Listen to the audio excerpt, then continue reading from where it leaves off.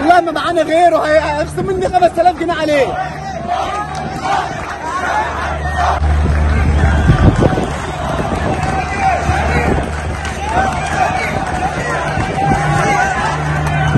والله ما معانا غيره هيخصم مني 5000 جنيه عليه.